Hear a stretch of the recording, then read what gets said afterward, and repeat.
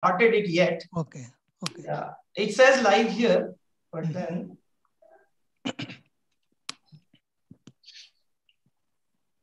Uh, why didn't it go? Just a second, let me check. Yes, it has started. Okay, good. Okay, great. Okay, so uh, it's a pleasure to welcome one and all for this very special um, July edition of the uh, joint IISc TIFR webinar series in chemical sciences. We have Professor Thomas Ebbesen from the University of Strasbourg, France. Uh, of course, he has many affiliations, and I think Satish will expand on it pretty soon. Um, but I just want, would like to welcome all of you from YouTube and Zoom uh, who are joining in uh, for the first time in this series. Um, this series was conceived by um, uh, Professor Satish Patil and, and myself uh, some time back last year, where during the pandemic, we had a hard time uh, networking with scientists across uh, physically. So um, it actually was a concept that both of us thought that it'd be nice if we can organize, um, you know, tutorial style talks in chemical sciences for the benefit of not only the new faculty members and the existing ones in India, but also especially for the students who are getting trained in doing research, high quality research in the country. And uh, through these series, we invite experts like Professor Ebbesen to talk about new topics, the modern topics, um, in which you might actually go back and look at literature, but sometimes you find hard uh, actually following it in the practicing in the lab. So um, you would like to talk to an expert and uh, Professor Ebbesen uh, is uh, no different in this case for light matter strong coupling. Um, and this will allow us for actually uh, disseminating this the, the fundamental concepts in the field, but also the challenges that exist as the field moves forward. So these two talks would help us enumerate these two. Uh, this to really uh, theme focus of these series. Um, we are very thankful that the American Chemical Society has stepped forward and supported this concept uh, started by these two institutes. And uh, uh, we thank Diksha Gupta, Ajay Jha for supporting it through the ACS Science Talks and also actually giving us the Zoom license to use for these series. Um, without further ado, I would like to now ask Professor Satish Patil uh, from the Indian Institute of Science to formally introduce today's speaker, Professor Thomas Ebbesen. Satish. Okay, thank you, JD. Uh, in, so let me start welcoming for this IISc TIFR webinar. So it's indeed, it's my immense pleasure to introduce Professor Thomas Ebbesen. Uh, he's a physical chemist. He's born in uh, Oslo, Norway. But however, he's educated in uh, United States and France. He's received his uh, undergraduate um, bachelor degree from Oberlin College in US. And subsequently, he obtained his PhD from the Curie University in Paris. Uh, he then did research both in United States as well as in Japan, and notably at NEC. Before uh, returning to the France in 1999 to help build a new institute at the University of Strasbourg. Uh, he's currently head of the Center for Frontier Research in Chemistry uh, in the Strasbourg Institute of Advanced Studies.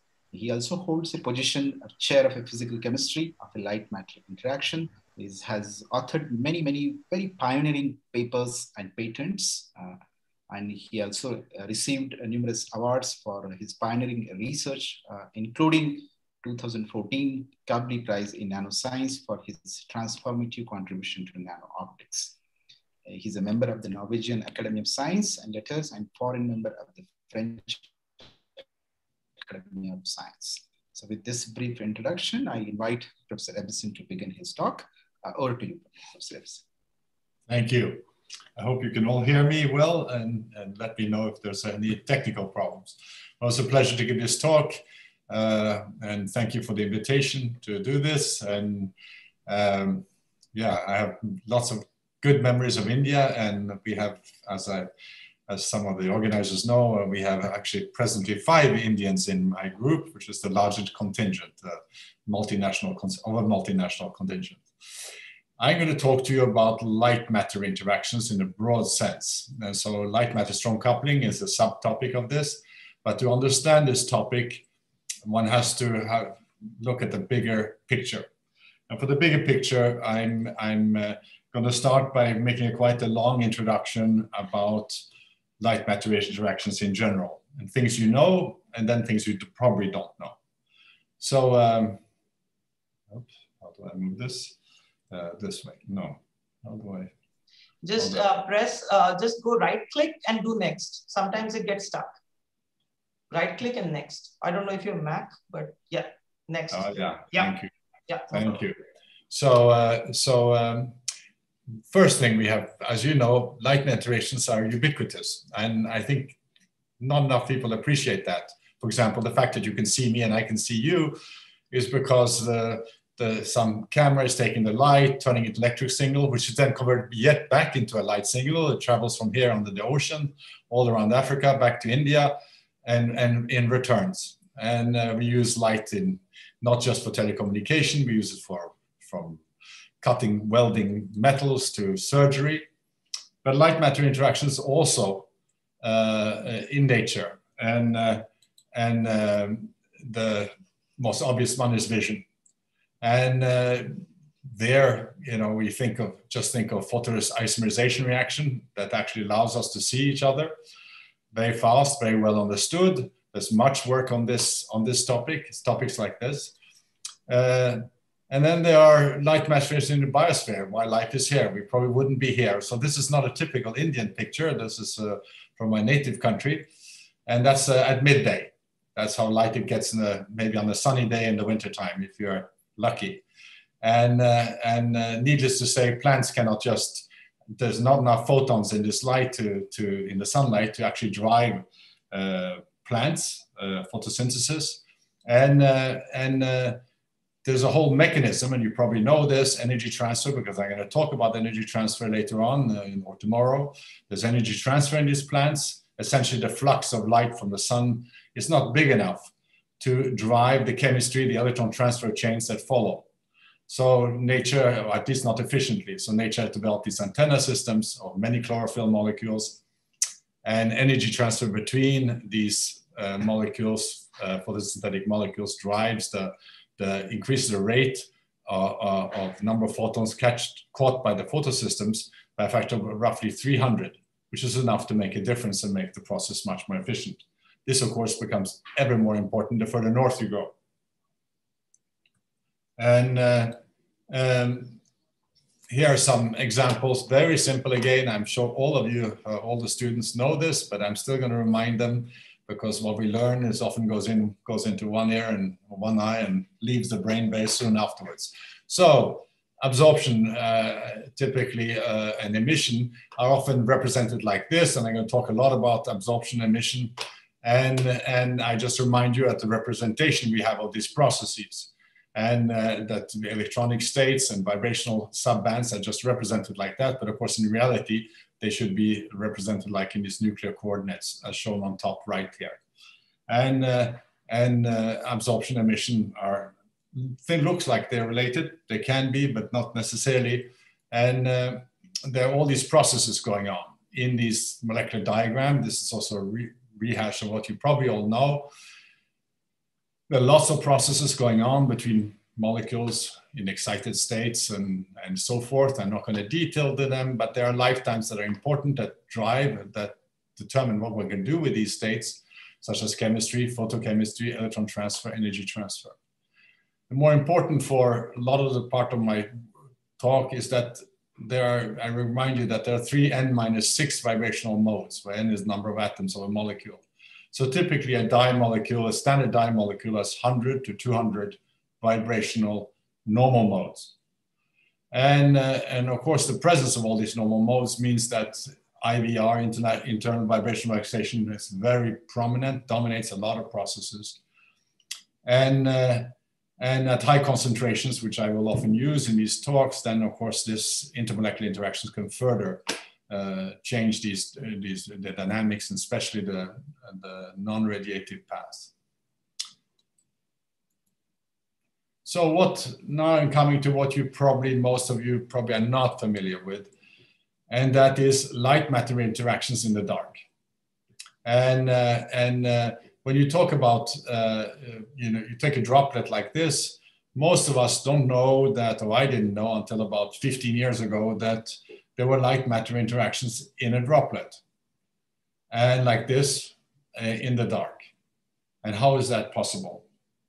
To understand that, uh, you have to uh, understand what vacuum is. And so vacuum has been discussed for literally uh, at least a couple of thousand years in the Mediterranean and Western world, maybe longer in India and China, but at least this long, uh, uh, we, we have we have we know that they discussed it in the times of the Greeks, for example, and we have traces of that in documents. And Aristotle thought that vacuum didn't exist, that uh, there couldn't be such thing as a total void of anything. Uh, Democritus, who gave us atoms, uh, said, no, no, no, there has to be, there has to be something, space between atoms, because how could two things mix? So there had to be some void in between the matter. So think of them, you know, even 2000 years ago, they might have mixed wine and water and seen that it all became homogeneous. So there had to be some space for the red stuff to mix with an uncolored stuff or sugar to dissolve in water, for example. And so, uh, but it's Aristotle's view that, per, uh, the, that, that survived into the Middle Ages. We know about these things because Lucretius, who was, a, if I remember correctly, a, a Roman person, wrote a book about what Democritus, Democritus and all these other people thought. And it's unbelievably modern. Uh, their notions they had of what's uh, discussions they had at the time. So in the Middle Ages, people thought what Aristotle thought, essentially uh, nature has a horror of, of, of, of, a, of a void. And uh, then everything changed in the middle of the 10th, 12th, 17th century. In the middle of the 17th century, we have the advent of modern science, or take modern scientific techniques, let's put it that way, in a systematic way, when this became systematized and people started making vacuums for scientific purposes. Now, when I first read this, I was very surprised because I thought, vacuum, did he have vacuum pumps? Yes, they did have vacuum pumps. And actually, vacuum pumps have existed for maybe 2,000 years. So this is nothing new. They were, of course, hand pumps. They weren't, uh, you know, electric pumps. And, uh, and in, in Europe, there were in Italy, Torricelli, in Germany, von Guericke, and in France, Blaise Pascal, who made these experiments. Von Guericke is, is remembered the most from his sort of more flashy experiments. He would, uh, he would take uh, uh, two metal half spheres like this with a liner, put them together, pull a vacuum, and then he would go into a village and show that he couldn't separate the two halves. And, and people would be very impressed. It looked like magic because when he opened the valve and let air in, he could separate them, but nobody else could. So he had to repeat it in front of his the local prince apparently, and this is an illustration, sort of an Instagram from 6054 of this event. And you have eight horses on both sides trying to pull apart these spheres uh, unsuccessfully. And, uh, but that, that was the show. That didn't really advance science. What really advanced science was the work by Torricelli and, and, and Blaise Pascal, who showed that, who took a vacuum in a, in a glass uh, line and so you might wonder how they had glass lines. Well, remember, we're in Europe. They drank a lot of wine, and distillation was a big part of the business. And, and so they had glassware. And so they used glassware to pull a vacuum. And when they did that, what surprised them the most was the fact that light traveled through the glass. And they hadn't, they were not aware that, that they thought that they had to be, that light had to travel into something, a bit like waves travel the surface of water that uh, light had to travel into something. So they, of course, thought that the, their, their pipes were empty of matter, but of course it wasn't quite empty of matter, but that's another issue. So this raised questions. And so the notion of ether, which was sort of another middle-aged concept, came back. And people said, well, after you pull all the matter, there's ether in the, in the, in the glassware. And this actually persisted right through 19th century when uh, when um, Maxwell developed his equations, which I find it absolutely extraordinary when you look at the meaning of those equations. And it's only uh, in the 20th century, with the work of Einstein, particularly special and general relativity, and the fact that the speed of light was constant, that this suddenly a void, the, the vacuum is just a void of everything. It's just space-time. And light just travel in this three-dimensional space. There's nothing in it and it follows the curvature of space as deformed by gravity. So the ether, this notion of ether disappears. But at the time, it raises also a lot of questions. And as, as quantum, uh, quantum mechanics develop, uh, people try to understand how, uh, how, how the things interact at a distance. Fields, what are fields? What are magnetic fields, electric fields? And then uh, in the light, in the 20s, 1926, so about 100 years ago, nearly 100 years ago, Dirac comes up with a quantification and uh, the field, and the, that's the beginning of quantum electrodynamics. And then everything changes. The notion of vacuum radically changes. Vacuum, uh, vacuum is no longer the three-dimensional space is no longer a void. It's full of stuff, full of things that come into existence and disappear all the time. There are fluctuations, and I'll explain why in a second. So uh, you might think, how do we know this? Well, we'll come to it in a second, but uh, uh, at the time, Dirac, this, this quantification of the fields led also to the prediction that, that antiparticles existed and they were discovered. And of course, this was absolutely amazing uh, uh, uh, theoretical prediction. So um, how can we, how do we, how we could, why, why did I say that it surprises, it's surprising that in the, that Maxwell didn't realize that that vacuum was not nothing. Uh, and this comes from the fact that the, he gave the speed of the definition of the speed of light. It's one over the square root of the permittivity and uh, permeability of vacuum. Okay, so these words are, should be banned in my opinion. Permittivity is just a dielectric constant of the vacuum. And the same thing is, so that's the electric response of vacuum. And uh, mu is just the magnetic response of vacuum. If vacuum was nothing, these two terms would be null and the speed of light will be infinite. The fact that the speed of light is actually quite slow, resembles that of glass, actually very close to that of glass, means there has to be something in vacuum that gives it some, some values, gives these epsilon and mu some values.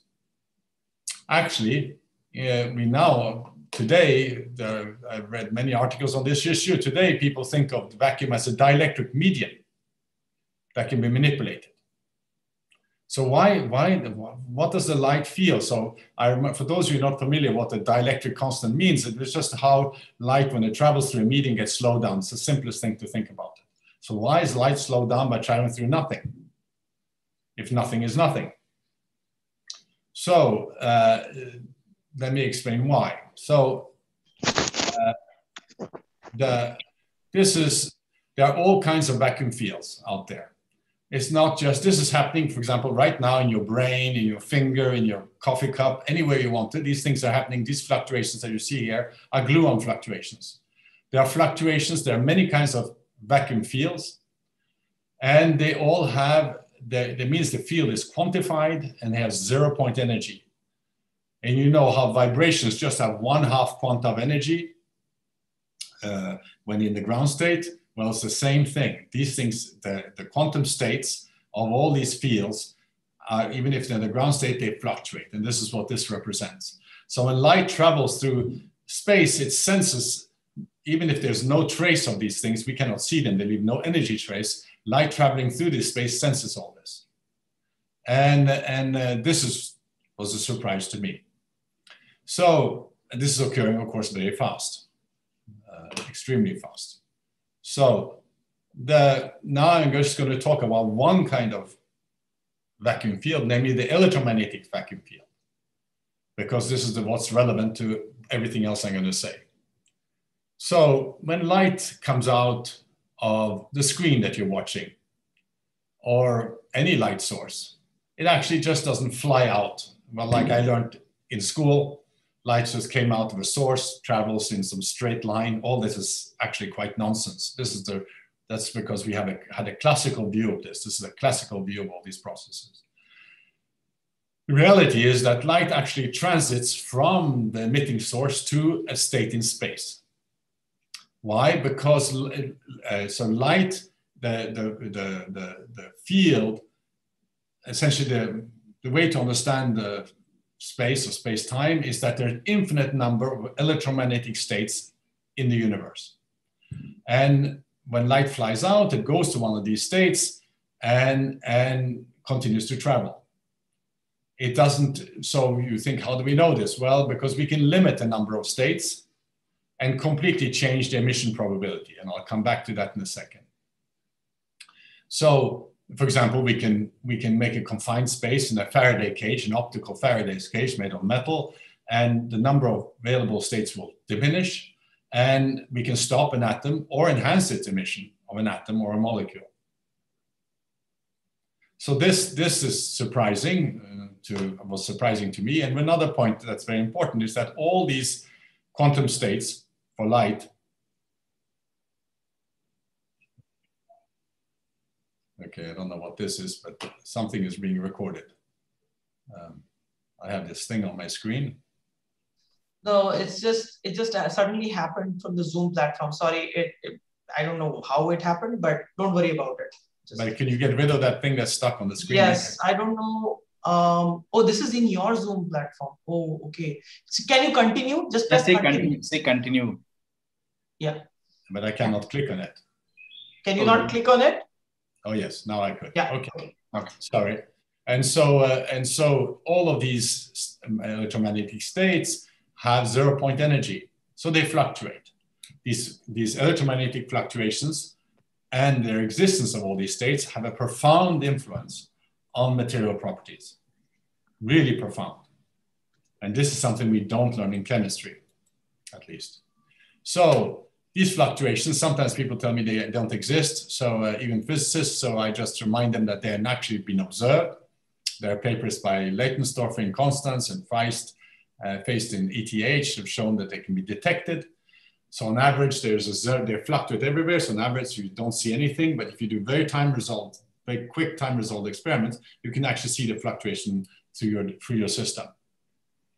They play a role in Casimir force. So I don't probably many of you have probably many of you probably heard of Casimir force. That's sort of a macroscopic force, van der Waals force, if you think of it in a certain way. Casimir was a physicist at at, uh, at uh, Philips in Netherlands who understood that there were forces between colloids that were great that weren't predicted by standard sort of uh, physical chemistry at the time. This is 1950s and, and, uh, and uh, in modern version of these experiments to try to demonstrate their existence, this has now been done. You use two metal plates because they exclude the electromagnetic field because of the negative dielectric constant. And so when two plates come together, the, the, the number of fluctuations between the plates are less than the ones on the outside because you have a cutoff, you have a cutoff condition as shown here on the right. And that means the pressure, because these fluctuations leave a, a, pressure. They don't leave any energy trace, but they leave a pressure. They induce a pressure. The two plates get pushed together. And if you think that force is small, it's not. It's as if if our hands were totally smooth and I shook hands with one of you, and if we, our hands were so really, really smooth, we would have need surgery to separate us. So you can be grateful that your hands are not totally smooth. Just can I stop you for a second, Professor Ebbesen? Yeah.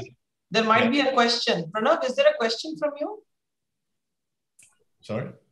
No, no, no. Okay, okay, okay. Fine, fine. So, so, uh, uh, so the same thing. So coming back to the droplet, this droplet here, there are van der Waals forces keeping together. And we, as you are, if you're physical, if you're in physical chemistry and probably in, and a big part of the audience know this, there are a number of forces, van der Waals forces, and one of them is the London dispersion forces and and uh, these are induced dipoles and we learned this right hand side when i was a student i learned this many years ago but what i didn't know is what make the fluctuating dipoles uh, in the electronic clouds and this comes from the vacuum fluctuations so the vacuum fluctuations drive these these uh, uh dipoles so it plays many roles this thing but it's not only that uh, we learn many other things that are not totally correct. So let me show you some other things. So they place, so molecules, now I'm going to focus on molecules mainly and, and this vacuum electromagnet. So there's no vacuum per se in our experiments, okay?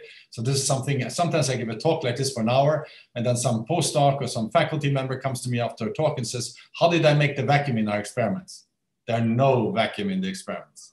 Vacuum here means space, three-dimensional space. Okay, it's a physicist language. So when you hear physicists talk about the vacuum field, they mean the, vacuum, the electromagnetic zero point energy of space that exists everywhere around us.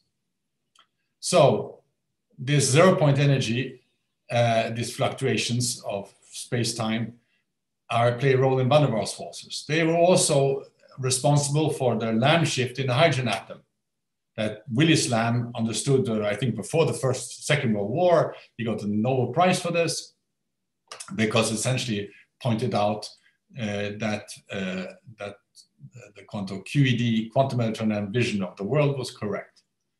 Now, more important for chemists is that when I was a student, and I'm a photophysical chemist by training, I learned there was such things as spontaneous fluorescence and natural lifetime. Well, those are totally wrong notions. That should be banned. That should be rewritten. There's actually no such thing as spontaneous fluorescence, and this was understood by Einstein when they, when they first did uh, uh, modern quantum mechanics. They couldn't explain what triggered emission.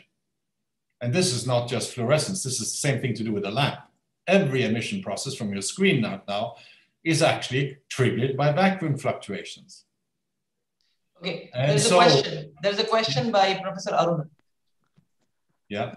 the vacuum fluctuations are causing everything according to you now. Now, if I think about correlation and dispersion, the electron cloud around any atom on average is spherical, but at any instance, we have electrons always moving. Yeah. There could be a fluctuating dipole.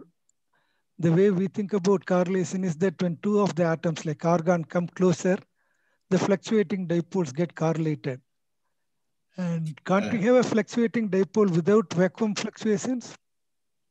I don't know. And so, uh, excuse me, because I'm going to get to the end of this. So I would like sure. to tell the whole audience that I have a, I have a slide for a moment for questions as we go along periodically. So because I won't be able to explain everything, I'm not done explaining. So it'd be easier probably to ask the questions afterwards, if you don't mind. So, uh, uh, uh but I welcome questions, but it's just hard for me to go through this whole reasoning. So I, I, uh, uh, so we'll, vacuum fluctuations are very important. And the question you raised is a very good one. Probably it plays a role, but I have no idea. So I haven't gotten that far yet. But vacuum so what are vacuum fluctuations? That's another question. What are they? People talk about virtual photons. What are virtual photons? Are they real? Yes, they are. Virtual photons are not virtual. They're virtual only in the sense as they're ephemeral. They come and go. So actually vacuum fluctuations are virtual photons. Okay, so you imagine a, a, a, beginning of a, of a photon and it vanishes again, leaves no energy trace. And, and, uh, and when Einstein, when Einstein uh, uh, worried about this house emission was occurring, this spontaneous emission, he knew this when he had apparently, this I've been told by some physicists, he knew that there was a problem with how spontaneous emission was triggered. In the stimulated emission, there's a photon that pushes the, the, the system down. In absorption, there's a photon pushing it up. So what's pushing the system down here? Because you can just reverse A1, A10 to B01 and you have the same thing. So actually when the quantum fields were quantized, there then people understood the virtual, the vacuum fluctuations, so the virtual photons that trigger the so-called spontaneous emission. Okay. And so then people, you can ask yourselves, we have been thinking about this for the last 15 years, because what I'm talking about is sort of a summary of everything I've understood so far. So we have discussions and we have had, I have physicists in my lab, chemists, even biologists once in a while, and we have discussions about what the meaning of all this is. And uh, uh, Tal Schwartz, who was a, was a physicist who was in my lab early on, when we worked on this, and was one of the first key people in the lab on working on strong coupling. We had a discussion over coffee one day, and he said to me, uh, Thomas, think of it this way. You take a solution of molecules, you radiate them with a laser, you start seeing stimulated emission. When there's, a, when there's, when the when in, when in the spectrum you see half the emission is stimulated, half is so-called spontaneous, then you know there's 50-50% competition between the stimulation, between this photon and the vacuum field. That laser burns your fingers. That gives you a density of these fluctuations. They're absolutely everywhere.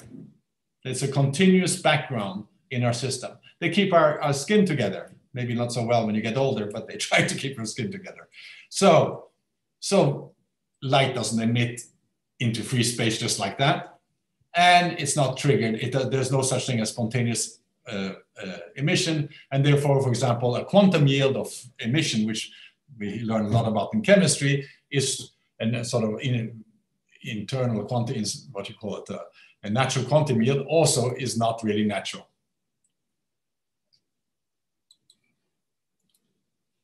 So, but even more important, you want some discussion to talk with your non-scientist friends, you can tell that them that even a magnet on the fridge is exchanging photons with the fridge. Okay. Uh, all electric and magnetic forces are mediated by virtual photons. If you think of, of, of, uh, of Higgs boson, why were they looking for Higgs boson? Because a boson, because bosons carry, are, are force carriers. And so, so mediate forces. So Higgs bosons mediate gravity electric and magnetic forces are mediated by virtual photons. Things like and in sodium chloride dipole-dipole interaction. So this, this uh, levitating frog over a magnet in Netherlands is actually levitating thanks by exchanging photons with the magnet. Kind of weird, no? I think so. And it's kind of uh, fascinating because I didn't know that. I mean, I always wondered how plus and minus recognized how a plus charge recognized a plus charge when I was a student and, or, and how a plus charge recognized a neg negative charge. When you think about it, nobody teaches you that. But actually, if you, if you know that they are carried by virtual photons, it's just a phase relationship, which determines whether they are repulsive or, or, uh, or uh, attractive forces between static charges. And this should also be taught in chemistry. So now I'm ready for some questions if people have questions about the first part. Yeah, yes, yes, there are questions. So first of all, there is a question in the chat box um, uh, from Shourav. Can these virtual photons cause excitation, uh, like an absorption event, as opposed to emission? If they can generate, yeah, they trigger absorption. No, they trigger emission. They don't.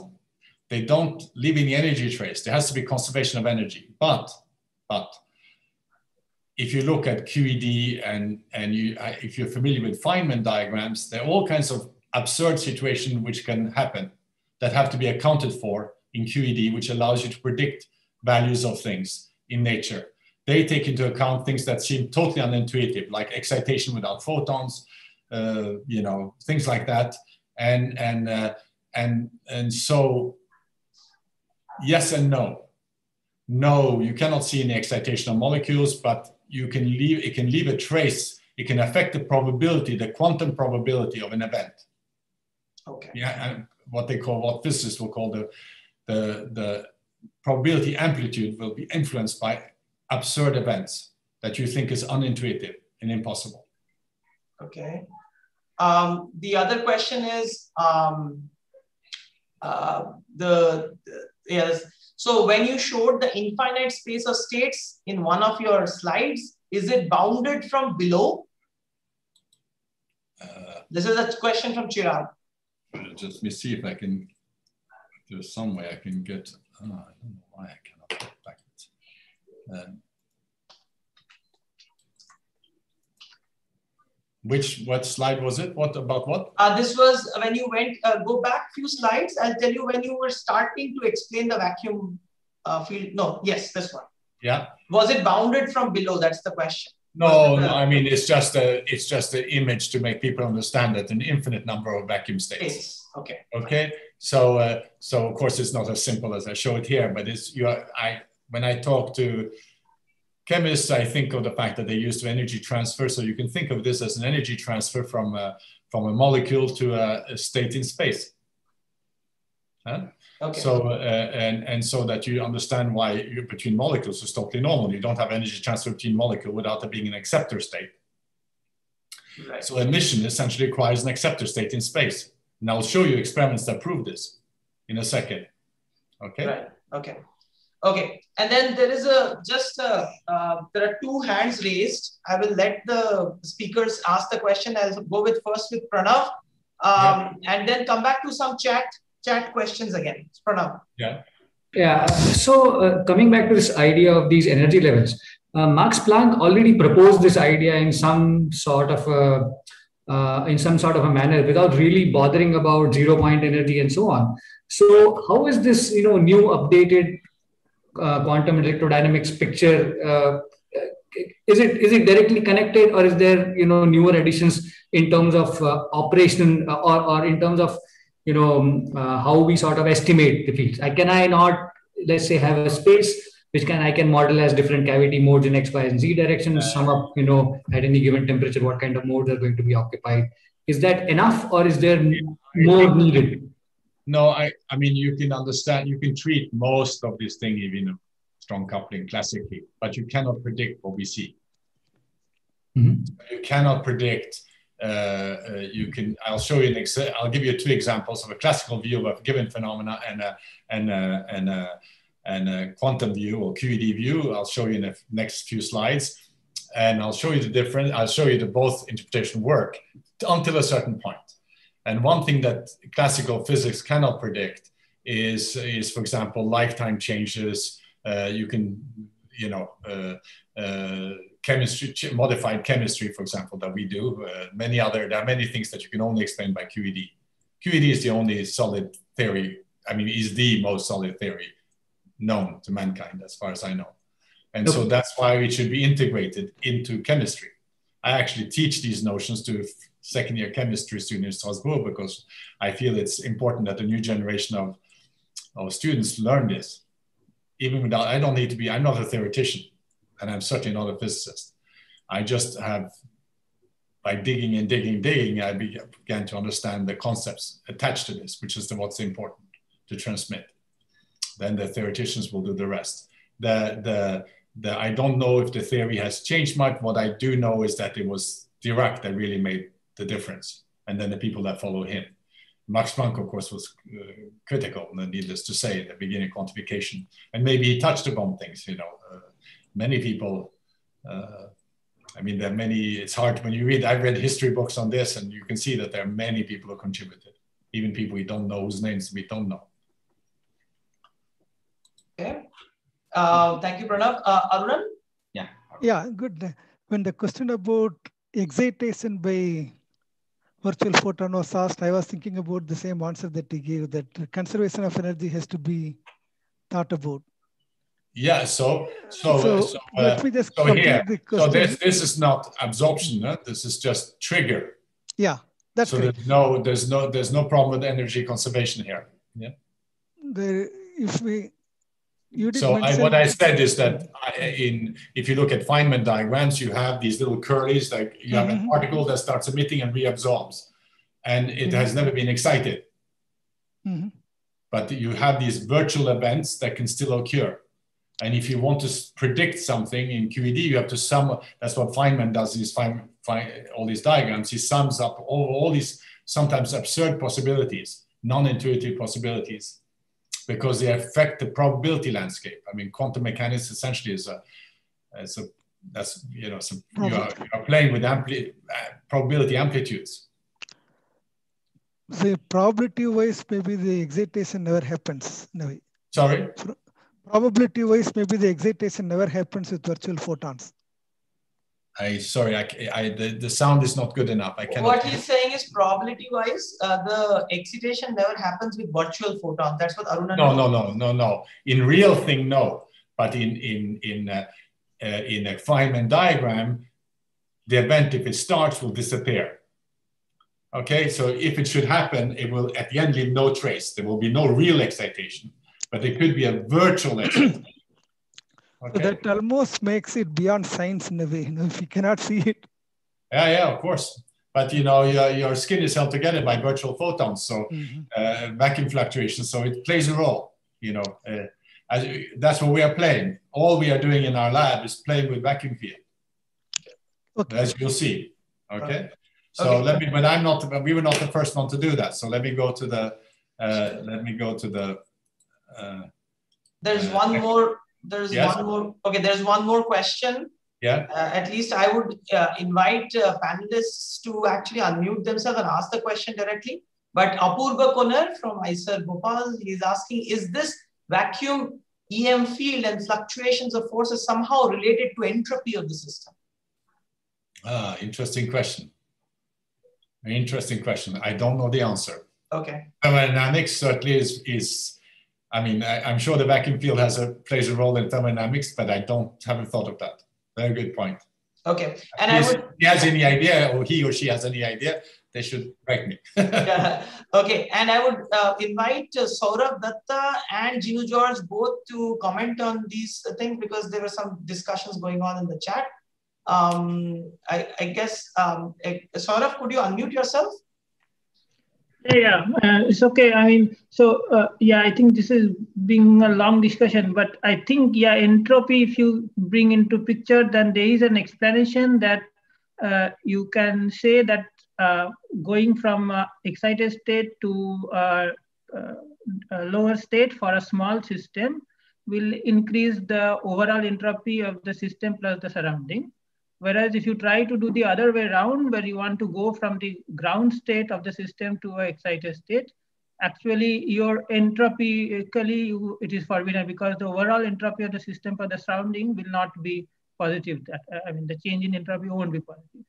But that's that's from a uh, yeah, statistical mechanics or thermodynamics perspective.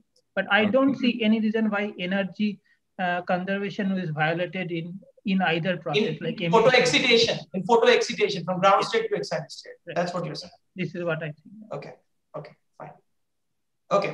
Okay. Well, I, I think we will move on and yeah, take a next set of questions after some time. Yeah. Yeah. Okay. Yeah. Thomas, thank you. Yeah. Okay, so there are, there are two coupling regimes, the weak and strong. So I'm just going to give a few slides on the weak because it illustrates what we just seen. So uh, actually, the they, there you modify the radiative properties. And this again comes back to what's, what is emission.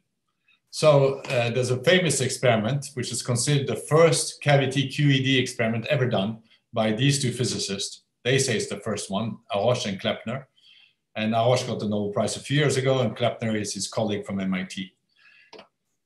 He wrote his paper in 1989, which inspired me, and I'll come back to that later on. And Karl Drexhage is a physical chemist who did experiments actually in 68. These experiments are shown up out here and is reviewed in his Progress in Optics in 1974. So what he did is he used Langmuir-Blodgett technique, which I assume all of you know what it is. So he deposited monolayers of inert layers on the, on a mirror and, and uh, then added a layer with fluorophores, this europium fluorophores that has a very narrow emission band, and therefore suitable for these experiments. And what he saw was that as he could then control the distance between his europium complex and his macroscopic uh, mirror by uh, with nanometer uh, precision in a time when nanoscience was not super easy. And uh, at very close to the metal surface, uh, there's quenching because there's energy transfer to the metal. This is well known. Depends on orientation, but very well known. And then as he moves away from the mirror, the lifetime goes up, down. But at the same time, the emission probability goes up. Why is that? It's because he, and, and then it reverses and, and the lifetime goes up and the emission probability goes down, the emission probability intensity goes up and so forth until you get far enough from, this, from the mirror the sort of micron distance from the mirror. And what's happening? So I'll give you first uh, the QED version of it. The QED version of it is simply that, as, uh, as, as pointed out by Haroche and Kleppner, is that when you move away from the mirror, the, the mirror interrupts space and to the molecule sitting right next to the surface, this is a huge perturbation of vacuum, of space.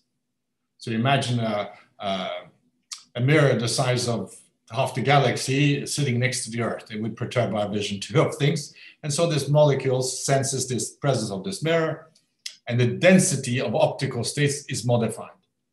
And so when you go, when it when it has when it's emitting in, uh, when its lifetime is shortened and emission quantum goes up, it's because the density of these optical states go up.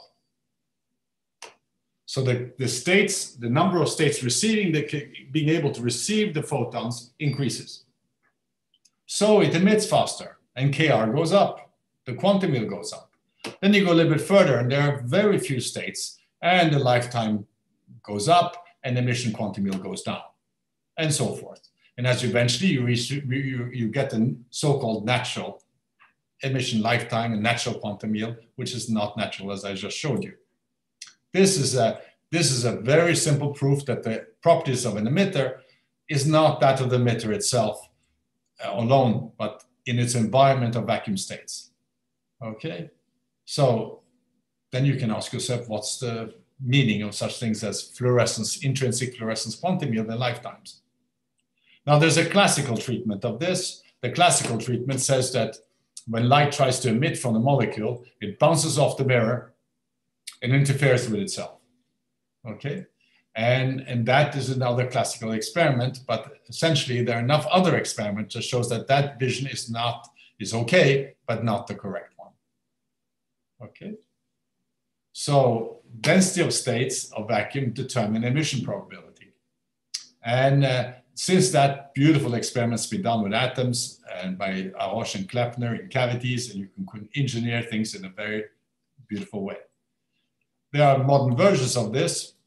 So for example, you can take a hole, I'm gonna talk about holes a bit later on, and this is an experiment by a group at, at uh, Cornell in the US, where they, they, they use a tiny hole to do fluorescence correlation spectroscopy. I don't know if you know what FCS is, but FCS essentially you look at you look at very few number of molecules and you see the fluctuations, the statistics, the fluctuating statistics or emission statistics, and from that you can derive diffusion times and so forth. It's an important tool in biology, not, most notably.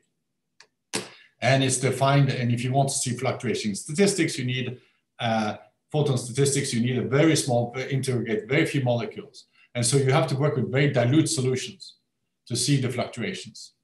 And so in order to, in the focal spot of a laser is typically a micron, so they decide to make use of a little aperture in a metal film to define a much smaller volume and thereby collect the same information so they could work at higher concentration. Now what's really surprising is that you get more photons in a system like that than you get in solution. And this is very surprising. And this, uh, why, why do you see that? And again, this has to do with controlling emission probability. So a more modern version of that, which, in which I was involved in with this French group, is that you make uh, uh, an antenna made of little corrugated metal here, gold film that's corrugated. And on the opposite side, it's filled here. And on the opposite side, you have a solution of molecules that can go into this tiny hole here. And you pump the system from, the, from this antenna side. The field piles up on top of the hole for reasons I'll explain a bit later on. And, and so you enhance the excitation rate.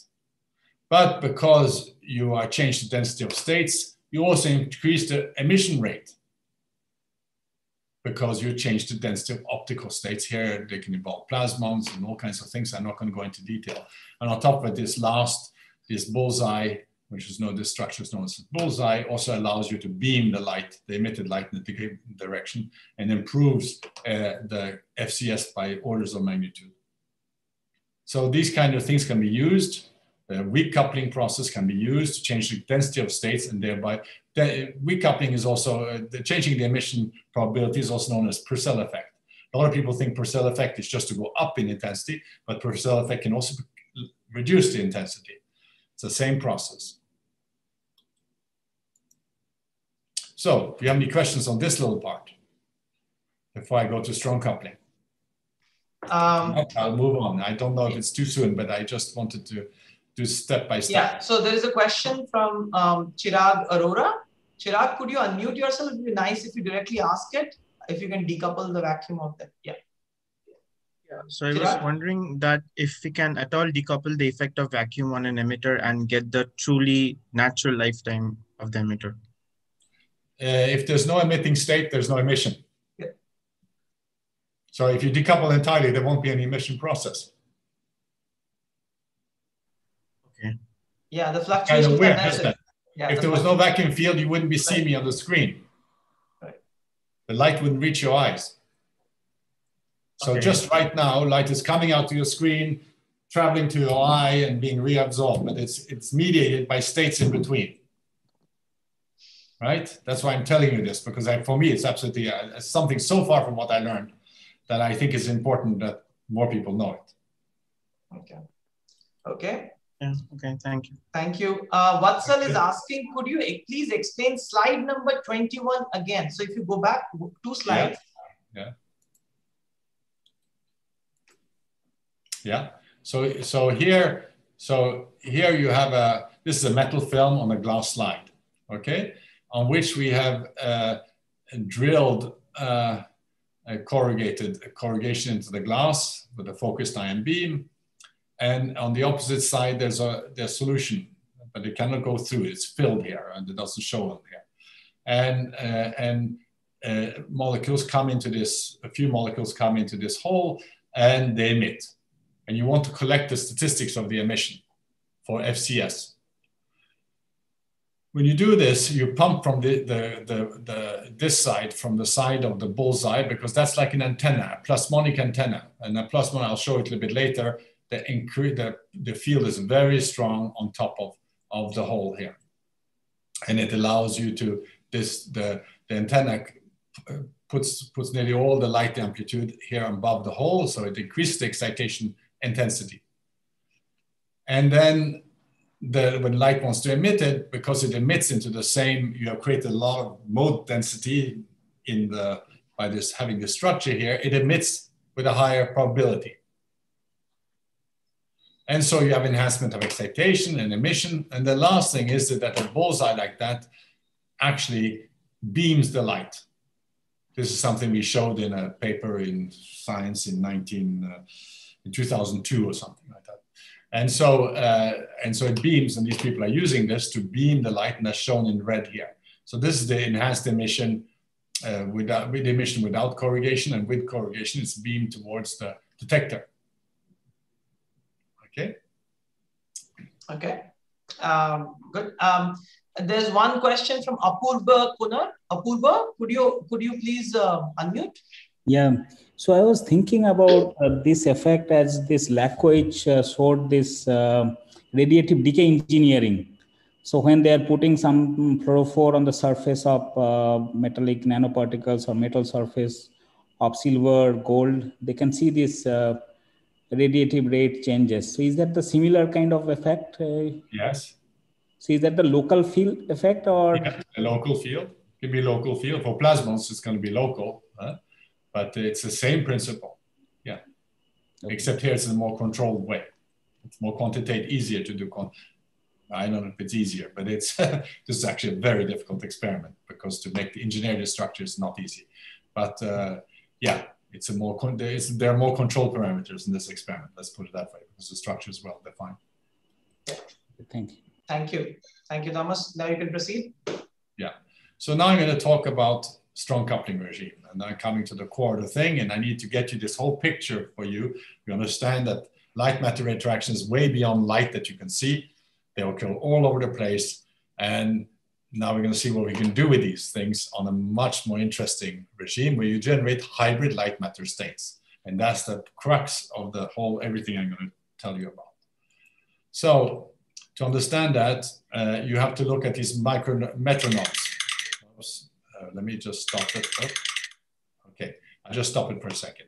So I'm going to talk about classical coupled oscillators. So coupled oscillators were understood also in 1650, so nearly 400 years ago, by Huygens, the guy who gave us interference.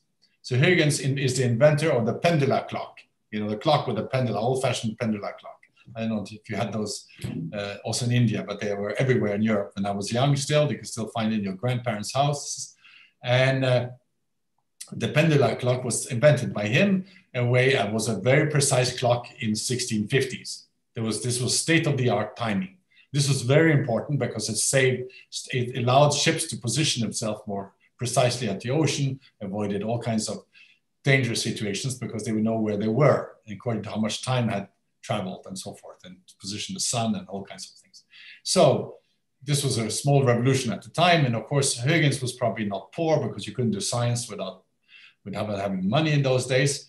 And, uh, uh, and so, uh, and there was no funding agency. So uh, he probably had more than one pendula and he noticed that the pendula would, would couple and they would start oscillating together and he probably wondered why. And he understood the problem of coupled oscillators. And there you have these two pendula and they either move in phase in the ground state or out of phase in the excited state. And here's a, here's a modern version with five metronomes that you're shown here from YouTube. And they are, uh, they are at the same frequency but out of phase. So now you can hear and see what happens.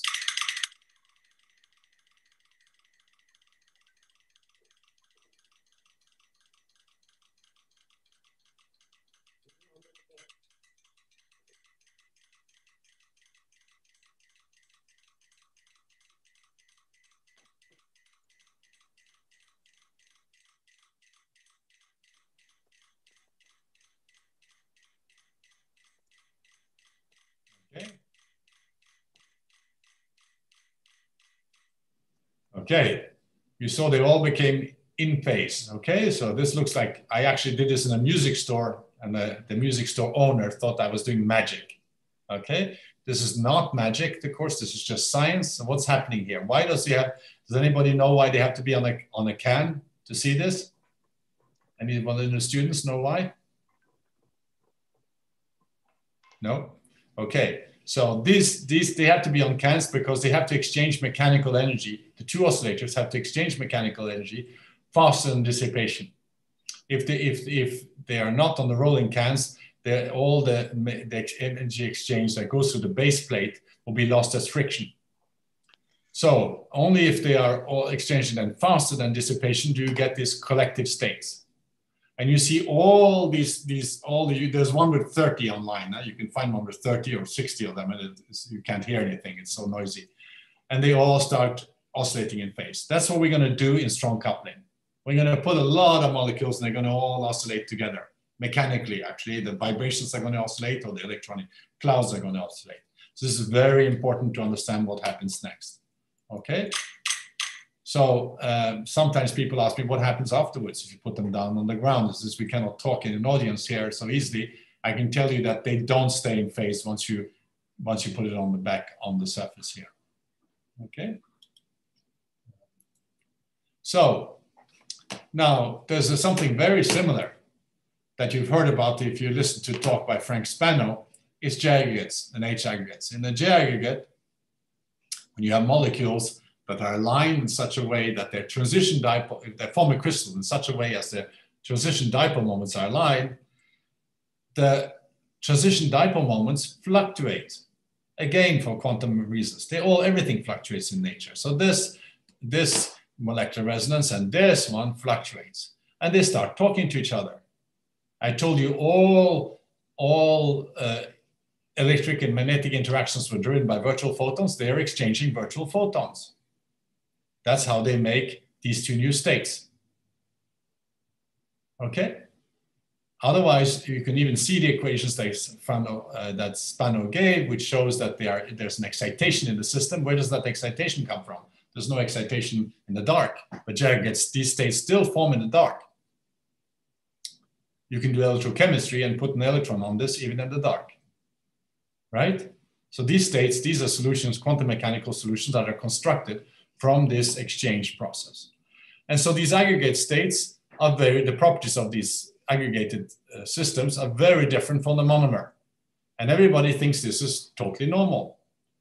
You would think so if you're a chemist, since probably most of the audience are chemists, you have no problems with this. And so you won't be surprised that when I learned that you could do the same thing, oops, I could do the same thing with an optical resonance. I could I could have an, if I could put the molecule molecules inside an optical resonator and have them talk to each other by being at having having uh, being isoenergetic here, these two transitions here, they will both fluctuate and they'll exchange virtual photons and you get new states. But these states are hybrid light matter states. And that is probably the most surprising thing to most people. So how on earth could you make hybrid light matter states? Uh, this is not what you think about normally. And, uh, and, uh, and the question is, when I first learned that this was possible, the thing that came to my mind immediately is, what does it do to the properties? Jaggeds have different properties. Why shouldn't they have, why shouldn't the system have different properties? I'm not talking about optical properties in sense of, uh, sorry, I'm gonna close the window. I have some construction outside my door, my window. That's okay. It's, it's really minimal. And uh, sorry, it's going to get worse. So it's sorry. fine. It's fine. And so, so the question is why? What are these properties of these states? That's the first thing that came to my mind. And secondly, what does it do to overall material and uh, properties? So uh, now a little bit of harder, harder stuff. So these states are essentially just a mixing of a ground state, and a photon in the cavity, a virtual photon maybe, and an excited state and zero photon in the cavity with little coefficients, a bit like doing linear, linear combination of atomic orbitals, nothing different. You have a, a no node and a node. That's what defines minus and plus. And these, these states are called polaritonic states. Sometimes people call them polaritons, but that's like calling electronic states electrons. So I don't like that, that's too confusing.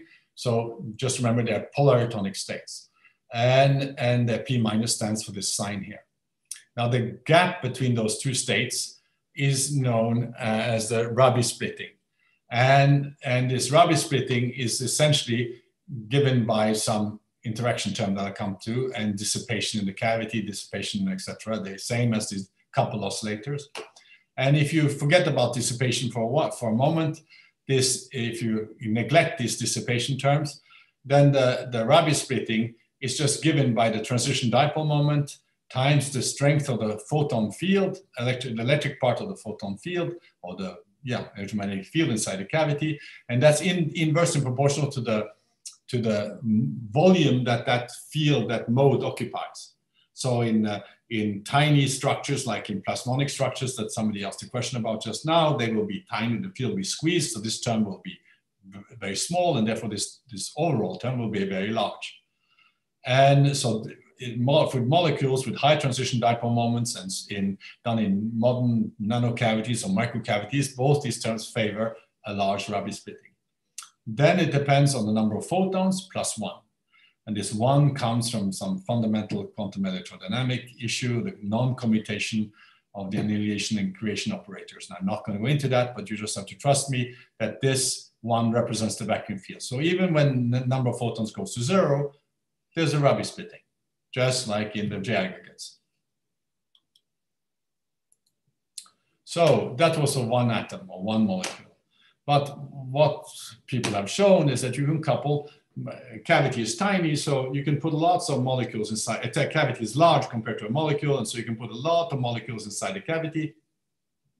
And you can have the, the, the, the, the molecule, the cavity exchange virtual photons with a large number of identical molecules. This, from a quantum mechanical point of view, is very favorable. This increases the splitting, the Rabi splitting, once you normalize and so forth, by square root of n. So n being the molecules that are coupled to the cavity. And so now you're going from a single molecule being on the order of, I don't know, electron, uh, micro electron volts to being on the order of a volt, electron volts. So now you have huge Rabi splittings which of course perturb the properties of the system. These are collective, this is collective coupling. This was already demonstrated 40 years ago with atoms. It works very well. So why is this favorable? Because then, then, you, are, then you can work with, it's much easier to achieve strong coupling because you can overcome dissipation of the cavity much better because you exchange it with many more, the, the, the probability of a virtual photon being reabsorbed by a, a molecule inside the cavity increases as square root over n. But this also leads to the formation of dark states because there's only two bright states. And so there leads to dark states, uh, which are linear combinations of zero photon in the cavity and all the molecules in the ground state plus one excitation. But the presence of one excitation and the fact that they are collective means that they are not, do not have the properties of the, the bare molecules, the molecules in an as you know them. A lot of people make that mistake and, and uh, they are far from being that. So now you have these correct collective, uh, uh, coherent collective states, the brown state, first excited state, second excited state. So you imagine that's a molecule. Now you start adding this to a cavity and you start achieving the strong coupling regime where you have an exchange photon than dissipation. And this is the Rabi splitting here in between the two red levels. And as you can see, as your square root of n goes up, this Rabi splitting increases. Now this Rabi splitting, that means that when you add molecules to a cavity, the other molecules already there are affected. That's like I, when I give talks, if I was giving a talk in, in, in Mumbai or in, in Bangalore, I would I would say to you that it's like if everybody in the audience would grow as other people come into the room, and then when people leave the room, every people in the audience will start shrinking again. The presence of one affects the properties of all the others. And that's kind of amazing. Of course, the existence of such collective states that run through all the molecules, here molecules are box, so maybe a physicist view of a molecule. These, mole these states run through all the molecules, maybe it depends if the system is how far it is, but we are talking about 100,000 molecules or more, then, then uh, obviously you should affect transport properties. And this is indeed what one sees. Transport properties are modified. This is something we demonstrated. Jino was the, one of the key authors uh, for that. Uh, um, you know, George in, in IISER Mohali. Um, so how, so now let's do a very simple experiment. You take a glass slide, you deposit 10 nanometers of silver or gold, and you spin coat some molecules in a polymer, for example, jagged, for that matter, doesn't matter what you put in. And you make sure that the thickness of the spin coated layer of molecules is just such that the, that uh, the distance to the mirror defines an optical mode that can couple to this, that has same energy as this uh, absorption peak of the JAG gas. And when you do that, when you come then with a second mirror down on, the, on, this, on this film, what you get is a new absorption spectrum. Okay, completely new. And if you're a chemist, you understand that this black guy and the red, the red species can't be the same.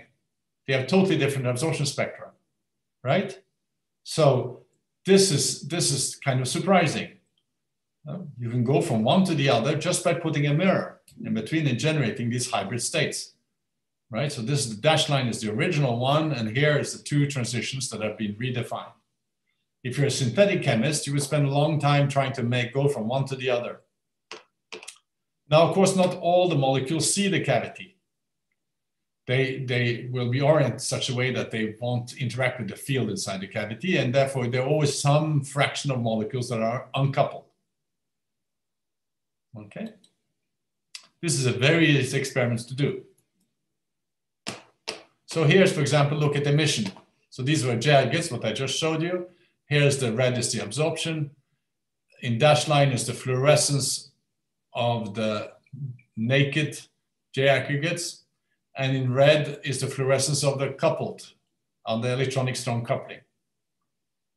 And you see that there's new emission, it's blue shifted, but that's a technical issue. I won't go into that you see there's still some emission from uncoupled molecules. And the, new, the interesting thing is because this is a cavity and cavity are dispersive. That means that they, eh, the, the cavity response depends on the angle. So uh, uh, an optical cavity like a Fabry-Perot cavity, which we use here, two parallel mirrors. If you, if you look at the function of angle, the transmission wavelength changes. And so the mode here changes. So when you, as you change angle, you should represent that as momentum, but it's still an angle change. You see that the emission from the polaritonic state shifts with angle. So angle dependent emission, while that that's, that's coming from the uncoupled molecule part, is still inside the cavity, emits without changing with angle. Okay? And there's a, another thing that's very interesting is that the emission is coherent over the extent of the mode. What does that mean? Is that the, even people have done experiments. First was a group in Lyon who did this, and they published this in 2012. Not everybody believed it, but then Törmä, Törmä's group in Finland, she's a quantum physicist. She repeated this experiment, came out in 2014, slightly different, but the same principle. emission from molecules microns apart emit in phase, microns apart. Okay? So you put molecules, just jaggeds on a flat gold film. They couple with themselves. That's a complicated process, but doesn't matter.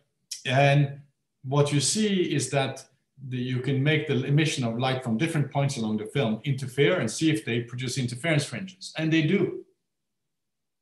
If you didn't have strong coupling, you would never see that because all the emission emitters will be totally random. They're not emitting all at the same time, they're all emitting in phase. Like those metronomes, they're emitting in phase. Okay? This is a unique way to doing, to getting uh, coherent emission. Absolutely unique way.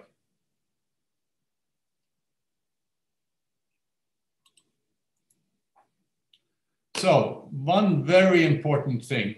So here's the relationship between angle and momentum.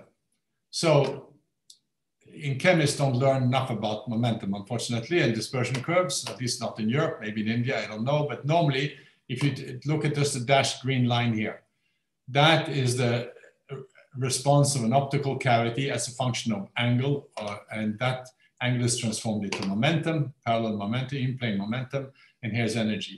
And uh, what is emit was transmitted by the cavity through its mode varies like this in a parabolic way. So when we couple a molecule whose absorption doesn't vary with angle, we, and we have strong coupling, we open a gap. This gap is the anticrossing and this distance between these, these two branches, the smallest distance between these two branches is called the Rabi splitting. That's in tune, that's where it's in tune at that angle. However, we have found over the last 10 years that it actually strong coupling to see an effect on material properties, you have to be coupled at normal incidence. That means K equals zero.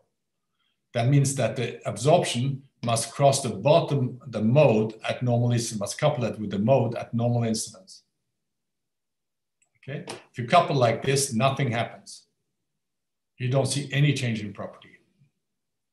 And this surprises a lot of people who work in polaritonics, polaritons, because they do lasing, for example, polariton lasing, uh, there are physicists who work on that. They need to be out of, they, not, they mustn't be at the bottom here. They need to be off at an angle because they want to see emission from these states, but uh, efficiently. But if you want to see any, any position, you have to, any um, change in property, material property, like chemical reactivity, you name it, you need to be at the bottom here. And the way to understand that, there's no theoretical explanation for this. I only have a hand waving argument, is that in that condition, when you're strongly coupled, you are at, you are at equilibrium. Okay? You're at the bottom of the potential energy curve, so it cannot go anywhere. If you, if you start here, the system can lose momentum, which it does in solution by intermolecular interactions, for example, and you can go down here and decouple. At the bottom here, you have essentially just the properties of the optics. And if you're up here, you would end up having just the material properties. So you won't see the hybrid light matter features. So this is very important, critical. A lot of people make this mistake, including us in the beginning until we understood this. So there are a number of things I have to tell you uh, in this regard. So you have these collective states. So these dark states I already told you, must not be confused with uncoupled molecules.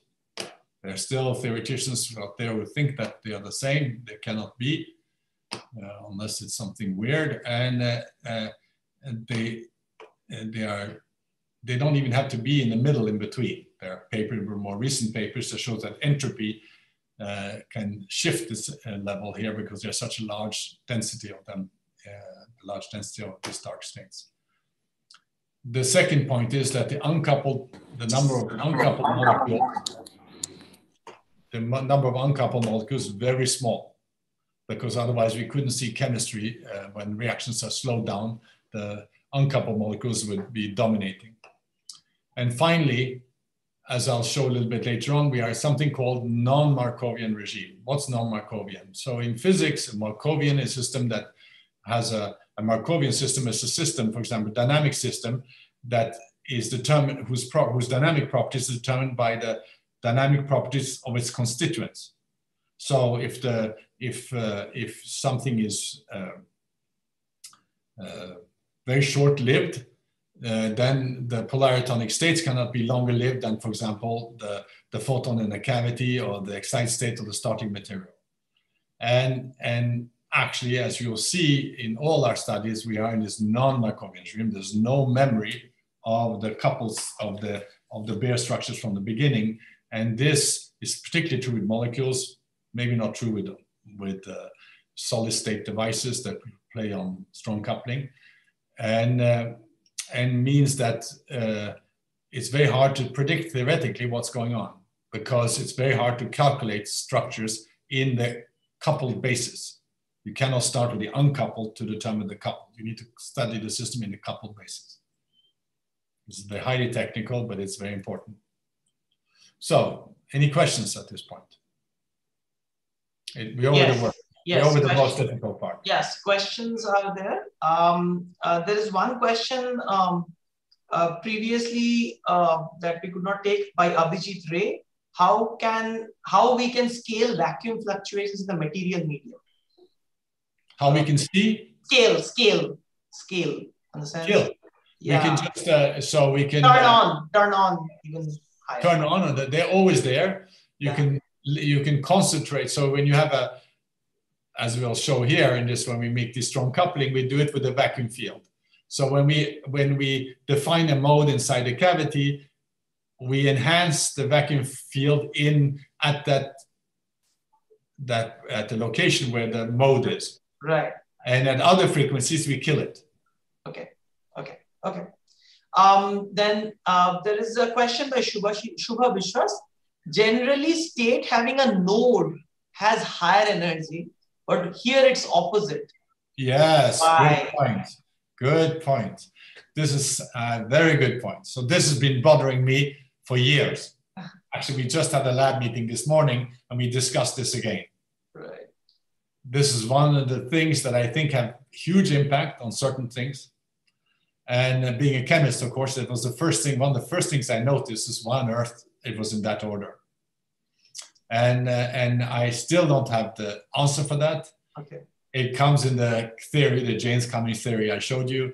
Uh, the next issue is what consequences does it have? We're still trying to do experiments to prove that this has significant consequences. Okay. Okay, as you can imagine, and that's that's it. You know, this is a typical thing that I've actually participated in the Faraday discussion uh, with Jino, uh, uh, George, and other people when we had a paper on this in London Okay. uh, at the Royal Society, and we discussed this one. This is one issues we discussed. What does this implications of this? We could not find a, we could not explain really what it does Okay. and what. But we are we're getting there. We're getting there. Great. Great. Thanks. Thank you, Shubho. Um, then there, there is one more question. Why the number of uncoupled oscillators is small? Uh, because as you get coupling strength, that's a, also a very good question. As the coupling strength increases, uh, you have to remember we have huge coupling strength. Okay, we have Rabi splitting on the order of relative to the energy of the transition. We have a very large uh, coupling, and and that relative value is what is important. And that means that that means that all the molecules uh, interact. The number of even if they're at a weak angle so they shouldn't couple to the field, they still get pulled in. So I, I often give an illustration. You have a magnet and you have a bunch of metal bars that are oriented differently. And you turn on the magnet force, and as you increase it, more and more of the metal bars will align with the magnetic field. They can pull in things. So when you get very strong coupling, you probably couple in most of the molecules, 90, 95%. Okay. Uh, this is And, but then they tumble. But you have another question is then they tumble. So they go in and out and in and out. So what does that do? That's another issue. We don't know the answer to. Okay. Uh, this is by Professor K.L. Sebastian. Sebastian, you want to unmute and um, just say Yes, yes, yes, yes, yes. See, the thing is, if a molecule is not oriented correctly, is there enough uh, force to orient it? I'm asking this Uh, because the, the, the strength of the cavity field on any one of them is Sorry, important, of course, but question, it's the second, the second strength of the cavity field is definitely important. strength of the cavity field. Is what? It is definitely important. Yes, of course, absolutely. Uh, so, but but but then the the coupling with a particular molecule scales as one by square root of n. yeah, The coefficient on a particular molecule is one by square root of n. That means the effect on the molecule is, is rather small. No, because that is that's the that's a okay. So I'll I'll start by answering the wrong thing. That's take. Addressing the in the last case. You that's because you're thinking you're not doing a collective operator. You need to use collective operators to treat this problem. When you do that, a lot of people in the beginning made that mistake.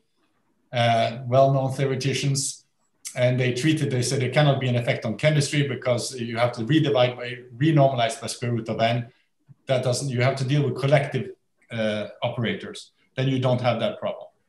You can see that you don't have that because you get new emission states from the collective coupling, which have energies which are far, uh, which shows that you are dealing with collective state that has a splitting of the collective splitting. So the emission event that So occurs are- on a given molecule. Are you are you saying that there is a huge effect on each molecule? Yes. And that's But the wave demonstrated by experiments. You have to listen, wait till we have shown the experiments, okay? This is demonstrated and also theory now. There's no question that the top groups all understand that. Uh, yeah, well, you see, the wave function, as I said earlier, it has only one by square root of n. Yeah, So you have anyway, I shall wait. You will give some references to. Yeah, yeah. Well, you can just look at any of the more recent theory papers, and you can look at the first ones, which made the same analysis, in, but it's wrong. I'm sorry, sorry to say. Now, coming to do with the orientation, the, whether the, there's a force on the molecules, yes, we've been looking for that. We've looked for that for years. Uh, if it's, but there's, I don't think it can easily overcome. Uh, it's strong enough to overcome KT. Yeah, that's that's my problem. agitation. Yeah. That's So- exactly my problem because thermal fluctuations will destroy it. What? Thermal fl- Sorry? Fluctuations will destroy whatever coherence you have. Uh, yes, of course, but it depends. Uh, it depends on the time scale. Okay, uh, you have to wait till I show you the data. You'll be hopefully be convinced. Okay. There are many people who, Okay. who don't. This is what I was saying earlier on. There are many people who don't think these experiments are possible, and maybe I won't convince you at the end. But uh, people around the world are show that this Okay. is possible. So, so the, Uh, Okay, I shall I shall wait. Thank Yeah, you. yeah, yeah. yeah. Let's wait. Um, I will get back to people who have raised their hands. Um, I'll take first uh, Satish. Satish, please Yes. ask your question. So, yeah, ca- can you hear me?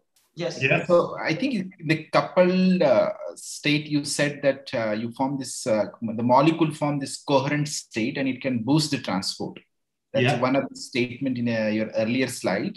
So Yeah. how how far these delocalization length in the coherent states? Uh, in, You in, said- yeah, you yeah. said you have sorry, uh, let me. So you said you have a coupled state to the the cavity and you have uncoupled state within the cavity. Mhm. So those uncoupled state, I would expect still disorder. They are not part of the coherent states. Mhm. So how that is going to boost the transport? You have a mixture of coherent and incoherent states. So indeed. So as I will show you, it, it- of course the boost in transport is limited.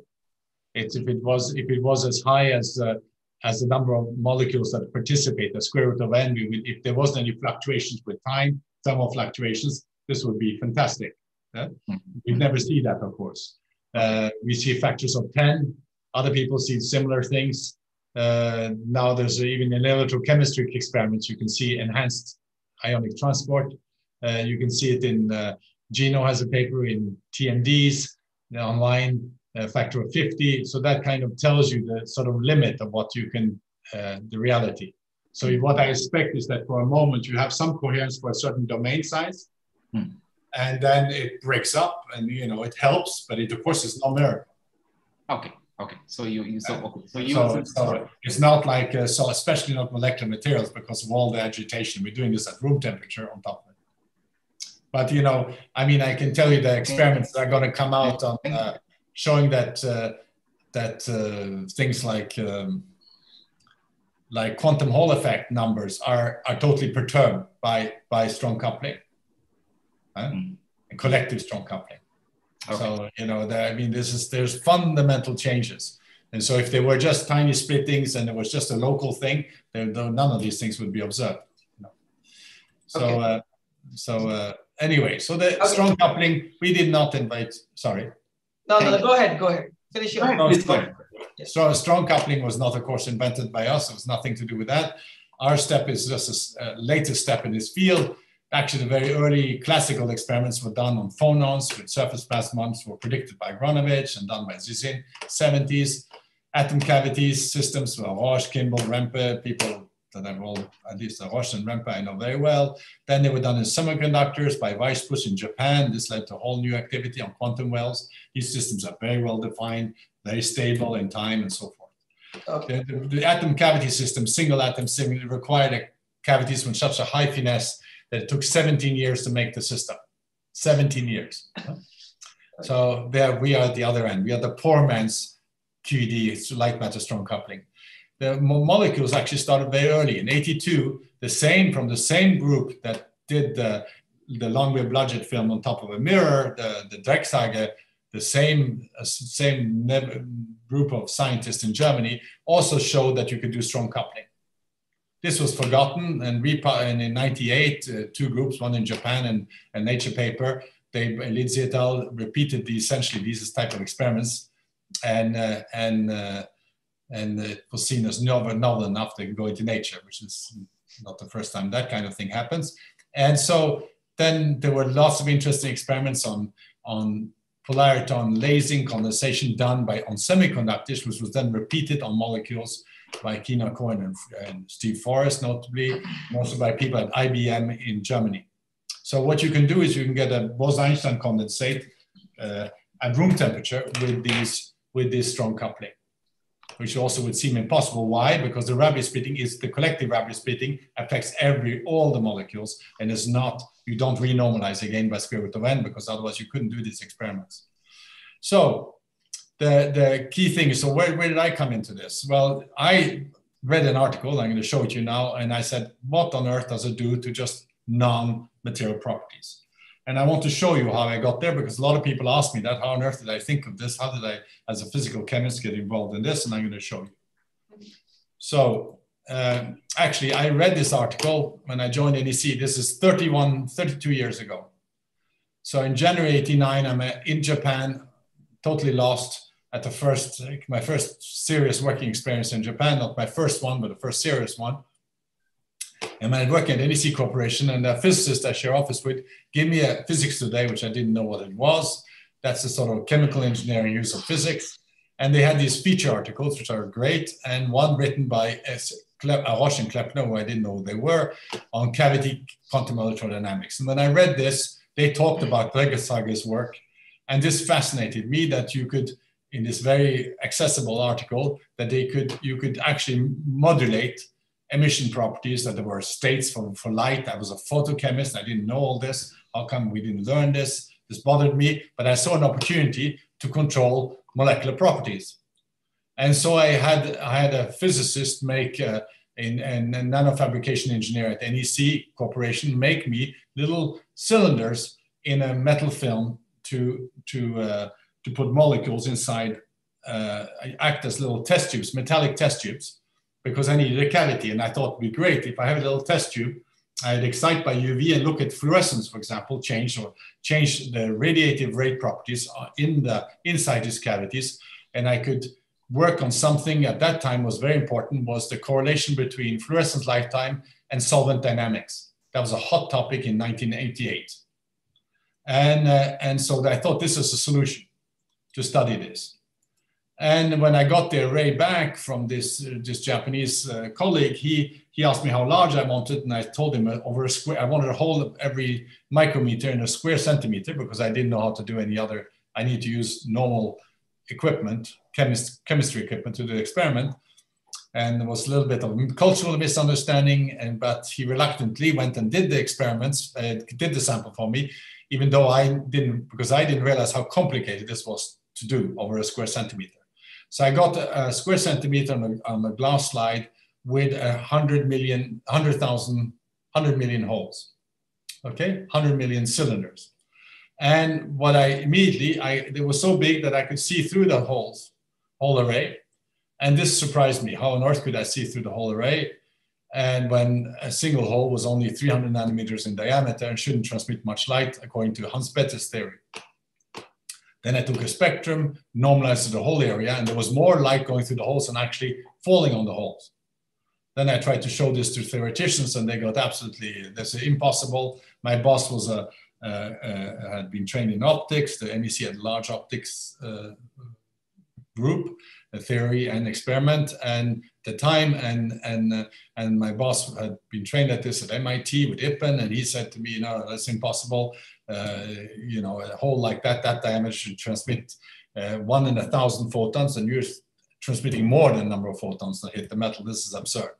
And so. Uh, but some people told me, no, no, this must be real. Go ahead and you should try to do it. So it took me nine years to publish the paper. Okay, just to show you this. This was discovered in 89 and it, it published in 98. Why? Because I had no explanation. Uh, here's an example of a whole array on the, done by a student up in the corner with HNU and shows you how bright they are under the microscope. They emit like mad, these whole arrays. So uh, it turns out that all these peaks in the transmission peaks are due to the fact that light is trapped on the surface of the metal light accumulates above, amplitude of light accumulates above the hole and essentially concentrate the lights of the hole. They tunnel to the second surface and get re-emitted. There's a three-step process. Now, uh, uh, this was very surprising, and but when we published it, of course, it generated a lot of interest in the plasmonic community. And it is very simple. You can tune, the, I use these structures for strong coupling, so that's why I'm showing you this. You can tune the resonances of these whole arrays just by changing the, the spacing between the holes, among other things. And these are real colors seen on the optical microscope. And then there are versions of it, including the bullseye that you already saw, which, which has, generated a lot of interest. And uh, this original paper, which a lot of people were skeptical about, there are lots of skeptical papers about this finding in the beginning, now has at least 6,000 citations by itself. So that shows you that eventually you can overcome overcome uh, skepticism. Eventually, we studied single holes, wondering how single holes occur. You know, what is what's the properties of those? And when we did this, oh, here's the beaming stuff. Yeah, this is uh, I've showed it already. There's the that's the near field image of the on top of the surface. You can see the light is very intense on top of the the near field is very intense on top of the surface. So single holes have resonances just like particles. Many of you probably work with non, metallic nanoparticles, but holes is just the anti antiparticles, so they have resonance just the same way, and you can tune them if you're with polarization, for example, if you have a rectangular hole. Then we studied diffraction of these holes, and it turns out diffraction is something that was understood in 1665 by Grimaldi in Bologna. Here's a picture, it looks very modern from this 1665 paper, apparently. This is his original paper. Uh, image from this original paper to show the spot size is bigger than the geometrical definition of the light through the apertures. And we restudied this for this, and we found actually that there were four different diffraction regimes for small holes, depending on the relationship versus the diameter. Why? Because the mat material matters. In this, all the theory on diffraction until then assumes that the metal the screen in which the hole is made is inert. But you know, and we know that surface plasmons, among other things, play important roles. So the matter matters huh, in these experiments. And this is sort of a very fundamental issue, but I want to show you that out of these quite a different research, my original target was strong coupling and weak and strong coupling, you get something on the way that you didn't expect. So this took me away from what I wanted to do. And then the question is, I'll skip this, and then I came to to strong coupling. So yeah. I came back to strong I, I coupling. Think, I think Thomas, uh, if it's okay with you, we yeah. can stop here today yeah. uh, because we might okay. have a few more questions for okay. the material that you presented. Uh, okay. and maybe next uh, uh, tomorrow's tutorial, you can start exactly from that point. Is that okay. is that a good point to start? Yes. Okay. So I let you. You're the MC. no, because there's already a lot of stuff that. Yeah, yeah, sure. I'm here. That's what I'm. It's it's. Uh, I have more slides than I can deal with. So. Yeah, yeah, yeah. Sure, sure, Thomas. So we will now take um, uh, questions. So first, I would like to thank Thomas again, um, just to uh, sort of we will at the end formally conclude the session. But I just want to thank you because there's a lot of very exciting things that you talked about and you developed the vacuum fluctuations pretty well. Um, it's, it's hard to get this kind of a, uh, in-depth explanation. So uh, thank you for doing that. I will now invite, uh, there are lots of questions already hands raised. I will first invite uh, a physicist, Achanta Venugopal, who is from TIFR. Achanta, uh, Gopal, could you? Yes, uh, thanks. It, it's really wonderful talk. Like the way you introduced is really amazing. Right. Thank so you. I have one question, like which you kind of skipped saying that it's a technical aspect. I just wanted to ask you about the blue shift which you are observing. So uh, actually, that's a very complicated question. So it might be just there are two possible explanations for the blue shift in the emission process. You mean versus the absorption? There's no, there's no way we're not. Uh, uh, there's a real problem with P minus. P minus is the lowest polarity and I there are very weird things. We've already published this. You cannot, but Jino George knows this very well. He was much involved with this. Is that when you pump P minus, you actually don't get an excited state. Okay. Okay. And you don't see it in transient spectrum. You don't see it in the action spectrum of the emission or the or the excited state. If the molecules are very rigid. If the molecules start being floppy, you start seeing this.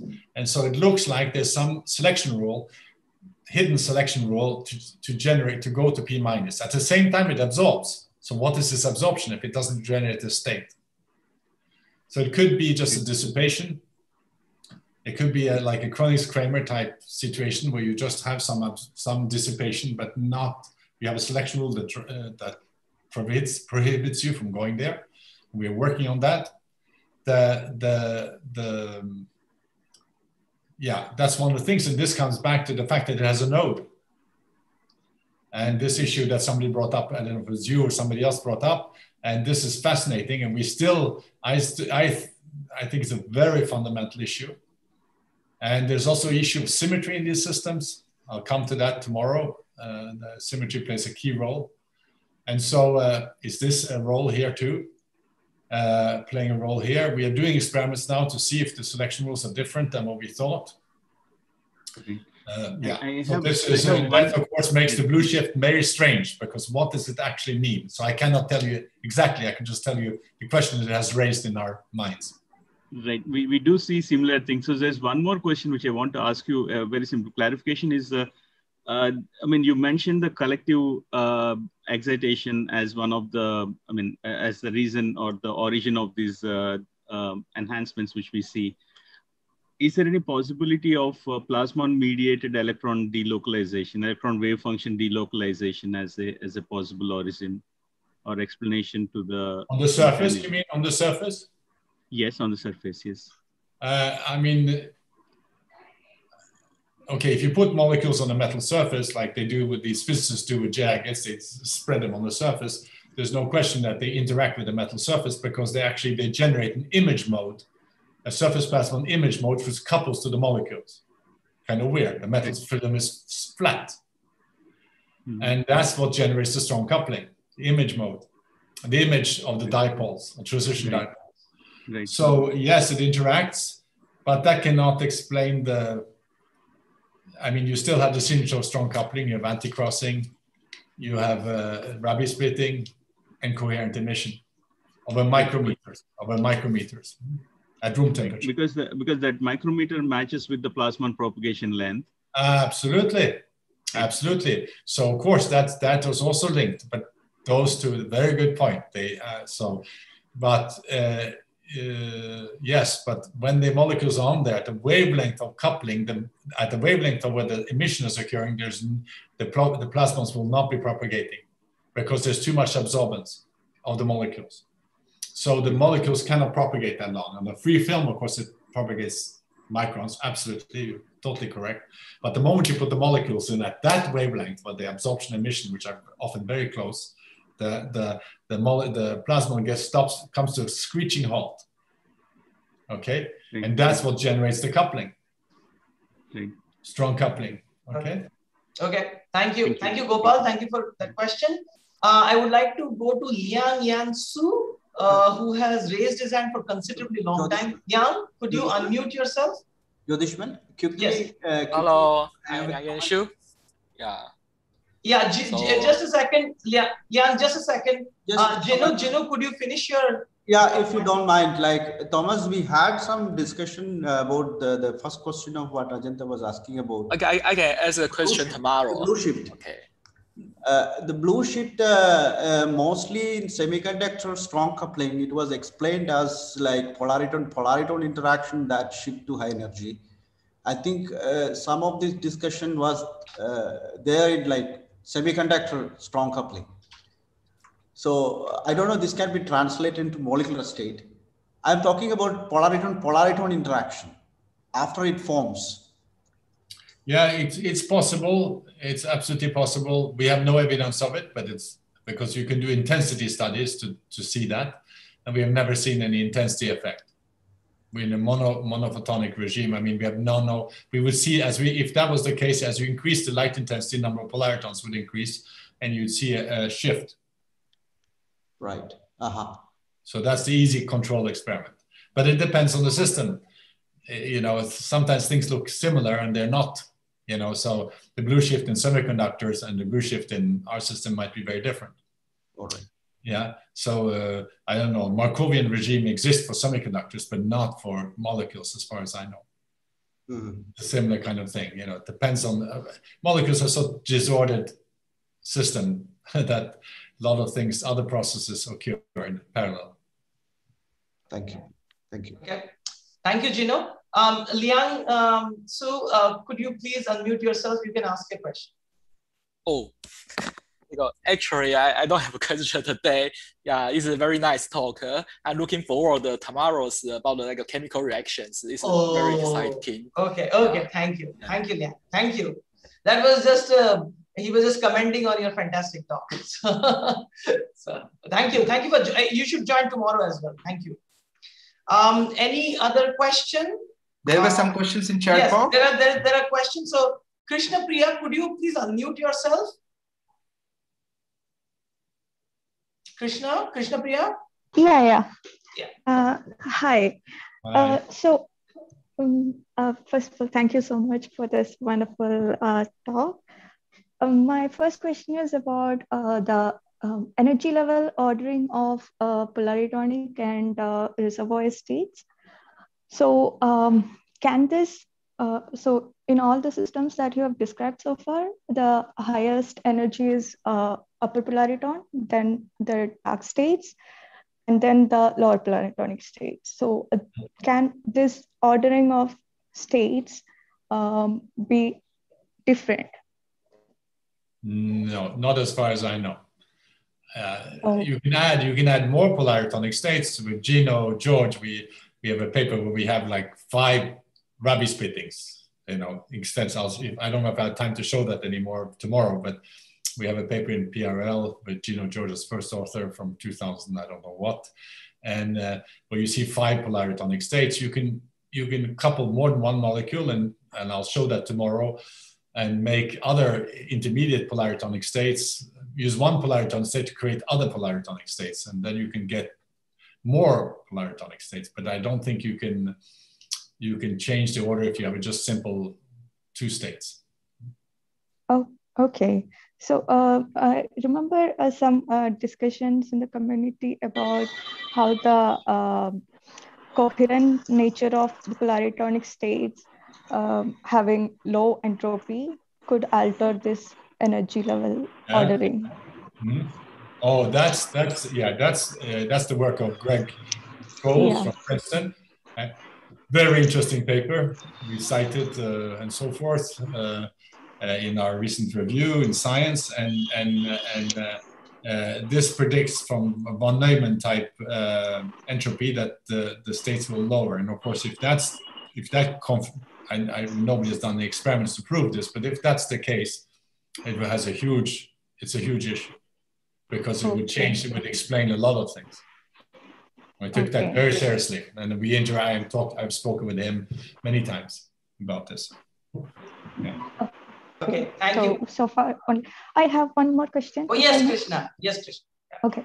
Uh, so you were talking about uh, how uh, some of the molecules may not uh, interact with the field because they are oriented in different direction. So Yeah. if we make all the molecules uh, to orient in the mm, perfectly with the field, can Yes. we make the dark state population Yeah. null? Yeah, so so we have tried that. We and other people have tried that. It turns out it doesn't make much difference. So that's why we stopped. That's because when we are, that's what I was explaining before. The molecules, uh, even when if the strong if the coupling is strong enough, even other molecules will orient themselves. Not orient themselves. They will be coupled even at weak angles. Okay. Oh, So, okay. so, so in the width of the of the the, they, the strong coupling will catch, let's say, 90, 90 percent of molecules, and if you have that, 95 at least. And if you have that, there's no there's no point of trying to orient them. In the beginning, we thought that, so we worked with people who make liquid crystals, and we tried all we all things we want to do, but in the end, we didn't see. It was very hard. It wasn't worth the trouble. You might gain a little bit, but not much. Okay, so uh, even in a theoretical uh, perspective, does it make sense to imagine if, if at all we can uh, realize such a system? Yeah, it would make sense if you're looking for things like conductivity. Okay, Then it would make sense because you will add order and you will have this coherence length probably will be improved, okay, right? So this when we Okay. talk about, so let's say you have all the molecules. Let's say, let's say you could orient, let's say the strong coupling tells you that about 100,000 molecules are strongly coupled in one go in a coherent state. Then Okay. if you have 100,000 molecules orient the same way, you would have no interruption in this domain. That would improve uh, transport, in my okay. opinion. Uh, In my opinion, my modest opinion. Okay? Sure. So if we consider the for few molecular regime uh, and only look at like say 10 molecules and we make them perfectly orient using uh, appropriate linkers and such, uh, would that work? I didn't hear very clearly what you said. Can you repeat it? Oh, uh, sorry. So I was asking, uh, so uh, you mentioned about uh, um, an uh, ensemble uh, uh, perspective when we have such large number of molecules. Uh, Yes. but if you're looking at a few number of molecules in a cavity, let's say 10, 20 molecules in one cavity, Yeah. in such a system, uh, if we can perfectly orient molecules using linkers and such, and we can control them, uh, will that uh, reduce the dark state population? Uh, no, the dark state population has nothing to do with orientation. The dark Oh, states okay. have to do with n. They're just n minus the the Yeah, n yeah. plus two states and the n states dark states. Okay, n minus yeah. one. Sorry, the n plus one states and n minus one dark states. So the n my n, if you have ten, you'll have a, a nine dark states. Whether you're orient independent of orientation, I mean, if you have them all coupled, you will have those n minus one states. Okay, I think let's move to the next one. Yeah. Okay, I Yeah. think yeah, Krishna, I uh, we will have tomorrow Sure, as well. sure. So so Okay, let, okay, let us give yeah. other people an opportunity. Okay, okay, okay, sure, sure. Yeah, yeah. Um, we have uh, Professor Josh Thomas and then Jaybir Singh. Yeah, I have, uh, Professor I have this uh, uh, question regarding this Drexhage's experiment, which is presented in slide number 19. It's a beautiful experiment. Uh, where they, they, you can, when you move this ruthenium, not ruthenium, europium complex uh, yes. uh, away from the metal, you see this beautiful fluctuation. Uh, Is there any effect of the field on it? I'm talking about the plus, the metal field. Metal creates a field. There is a propagating plasmon on it. Yeah, no, it's not. It's not considered to be. It's a good point, uh, but it's not not considered to be um, to be. Let me escape this and just. Uh, why can't I escape this? It's one of the fascinating experiments, if I would Yeah, say. I know. I I uh, I think I'm locked into this thing. Um, 19, slide number 19. yeah, but I wish I could do Yeah, this. he is not able to move the. He's not able to move the slide. It's That's okay. fine. That's fine. Okay. Yes, yes. So, uh, um, yeah, if I, I can't even see what I'm doing. So uh, yeah, that would be helpful. What did you do now? You put something on the side. Oh, there it is. I see. Okay, here we go. I didn't know this was possible. Yeah. So here, this is this. Of course, you, when you're close, you you are coupling the, the to the metal and the plasmon probably, and you quench. But this, this oscillation here is not not believed to be due to plasmons. Okay. This is just simply predicted by density of state. Okay. So uh, uh, you know uh, the, the reason is if it's plasmons, it's very hard to understand why it goes up and down like this. Okay, thank you. Thank you. Thank you. Thank you, Professor Thomas. Um, uh, Jaybir Singh?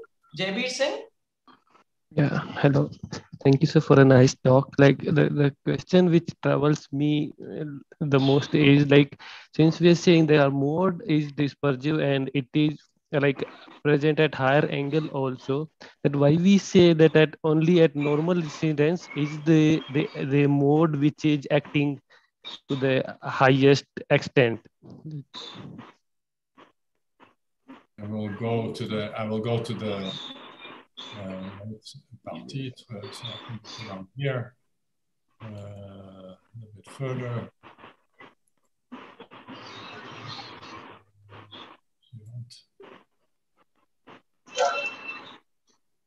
Oh. Okay, let me, this is so hard to work with this way. Yeah, so, okay, so I won't worry about getting the slide, but you have to, what you're asking is why does it have to be at k equals zero? Is that what you're saying? Yeah, like uh, for when we are doing our experiment, uh, I'm also doing my experiment. So here we we saying like at why we say at the the mode which is forming at normal incidence is acting the most in case of like the tuning experiment that we are doing this is the question that i have from very like i'm not able to understand you're asking why mm-hmm. it's at normal incidence is the best? Is that what you're saying? I can't yes yes. Why the normal incidence because, is the best? because at the normal incidence you're at the bottom of the parabola. So you couple at the bottom of the parabola so the polaritonic state is also at the bottom.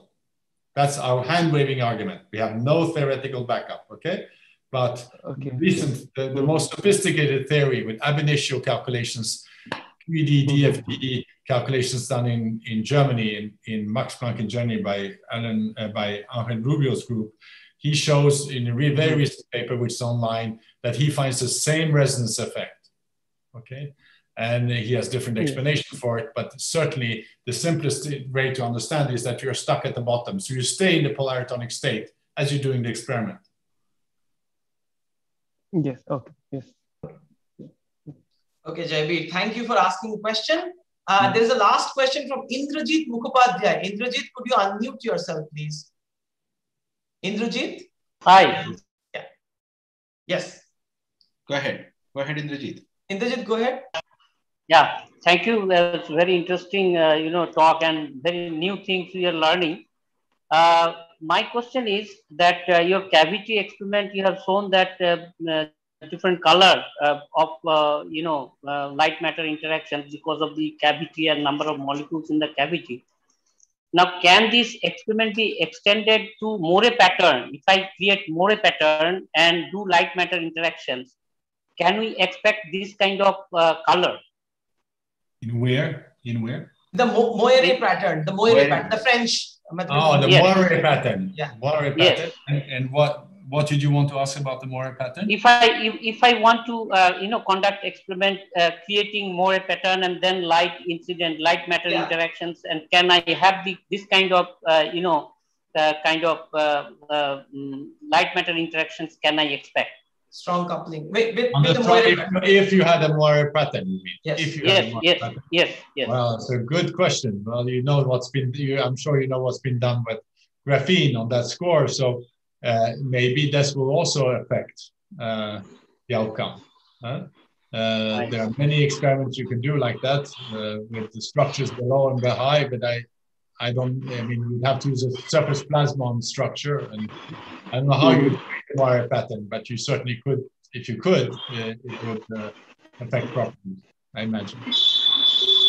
Thank you. Yeah. The Moire pattern has definitely influenced a lot of uh, super resolution imaging, for example. Yes, yes. Actually, we have very important, interesting observations from it. So I, uh, from sure. this talk, actually, I got more clue, basically. Very good, very good, Indrajit. Thank you. Yes. Thank you for attending and please continue to attend tomorrow's talk as well, Indrajit. Thank sure, you. sure, sure. I'm looking forward to attend it. Thank you. Thank you.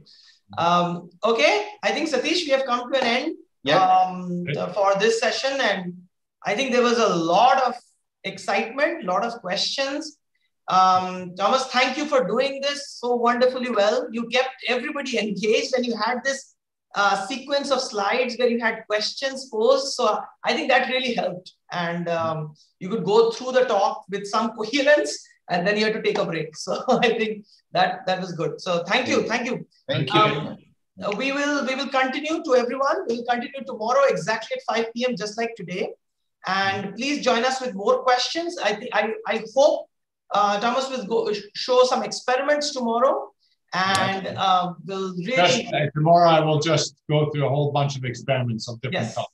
Yes, from material science, chemistry, material yeah. science, yeah, changing properties. Okay. Perfect, perfect. Thomas, thank you, thank you for doing this. Yeah. I, um, thank you. Um, you, I, um, you have to unblock my screen though. Yes. you have to yes, you have to unshare. I cannot escape now. Can no you? Way. Oh, can I? Maybe you can. You can. No, yes, I did that. Uh, okay. I get my computer screen back. Cool. Cool. Yeah. Cool.